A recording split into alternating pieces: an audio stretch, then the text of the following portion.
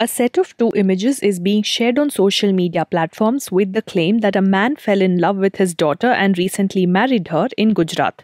The first image shows a wedding ceremony between a middle aged man and a young girl, while the second shows a marriage registration certificate. Reverse image search of the first photo led us to similar pictures of the married couple in several recent Gujarati news articles. These articles reported that a young girl married a man old enough to be her father in the name of love. According to these articles, Bhavnagar resident Dinesh Kumar got married to Zapadia Sheetal Ben from Surendranagar district in Botad, Gujarat. A few news articles published the same marriage registration certificate shared in the post. The certificate shows different names for the bridegroom and the bride's father's name. The family particulars mentioned on the certificate also show that the bride and groom belong to different families. As the married couple in the photo are not father and daughter, this post is fake.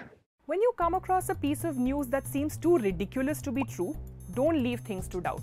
Run searches on Google and Yandex and weigh out the true and false of the situation for yourself by looking at the facts. But first of all, before you hit that forward button, pause.